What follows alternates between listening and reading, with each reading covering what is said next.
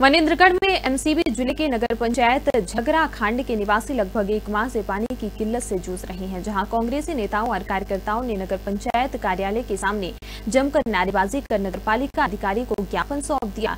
वहीं ज्ञापन के माध्यम से कहा गया कि विगत एक माह से क्षेत्र में नगर पंचायत द्वारा पानी का वितरण बंद कर दिया गया है, जिसके कारण आम नागरिकों को अशुद्ध पानी पीना पड़ रहा है, जिससे क्षेत्र में डायरिया जैसी घातक बीमारी का प्रकोप फैलने की पूर्ण संभावना बन गई है। पिछले करीब एक माह से नगर पंचायत से द्वारा संचालित पीएचसी जो है, बंद पड़ा है और पूरे नगर में पानी के लेकर हाहाकार है। बारिश के मौसम में यहाँ के लोग दूषित और गंदा पानी को पीने को मजबूर है। ए सी द्वारा वैकल्पिक व्यवस्था की जाती है। वो भी कम से कम हफ़्ते में एक बार चलता है पानी। उस पानी को आप लोग जगह देख सकते हैं। वो नहाना, नहाने लायक भी पानी लोग पियेंगे कैसे और एक पहली बार ऐसा नहीं हुआ है। नगर पंचायत में जब से पीएचई चालू है, कभी तीन महीने, कभी दो महीने, हमेशा बंद रहता है।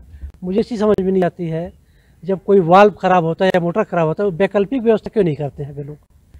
जब भी होता है, सामान आ रहा कलकत्ता से आ रहा लंदन से आ रहा है तो बहुत ही बुरी हालत है।